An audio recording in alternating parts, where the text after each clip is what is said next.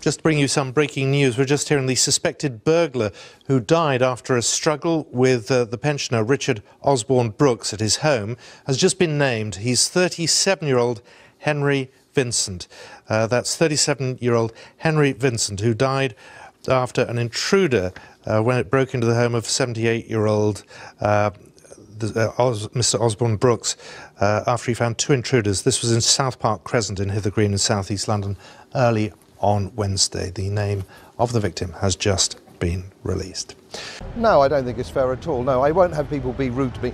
The, some journalists think because I'm a politician, they can treat and speak to me just like just how they choose. Let me tell you one thing and let me make this very clear. I'm not a professional politician. I'm an ordinary man, an ex-soldier, and from the rugby club.